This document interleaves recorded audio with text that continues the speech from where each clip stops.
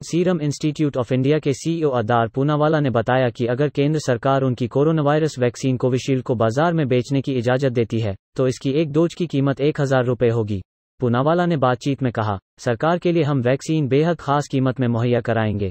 पहली सौ million dose की कीमत दो सौ रुपये प्रति डोज होगी। इसके बाद ये अलग अलग दामों में दी जाएगी।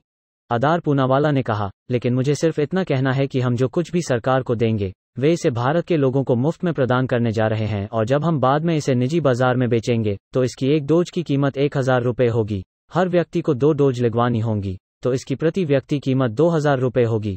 उन्होंने आगे कहा, हमें उम्मीद है कि सभी कागज़ी कार्यवाही अगले सात से दस दिनों में पूरी हो जाएँगी। इसके बाद इसकी ज़्यादा से ज़्यादा पूर्ति के लिए प्रयास किए जाएँगे।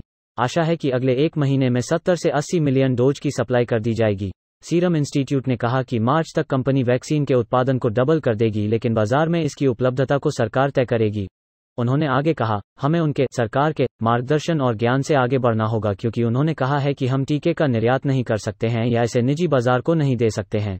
मैं इसका सम्मान करता हूँ, क्योंकि वे वैक्सीन को जरूरतमंदों को देना चाहते हैं।